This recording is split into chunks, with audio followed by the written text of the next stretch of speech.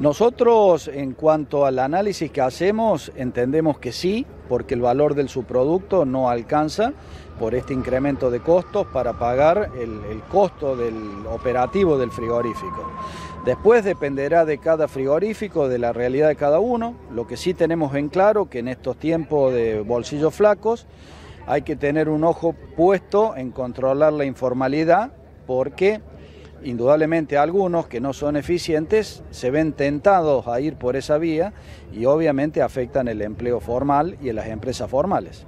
El tema carnicería en negro se ha trabajado, se sigue conversando porque es un tema pendiente que nadie lo puede solucionar, nadie lo resuelve.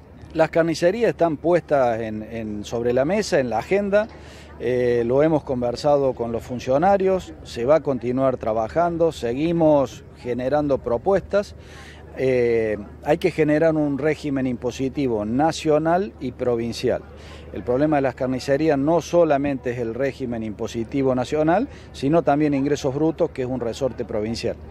Eh, si logramos que todos se pongan de acuerdo, por allí encontramos una fórmula que beneficia a todo el mundo, al carnicero que pueda trabajar en blanco y al fisco que recaude más.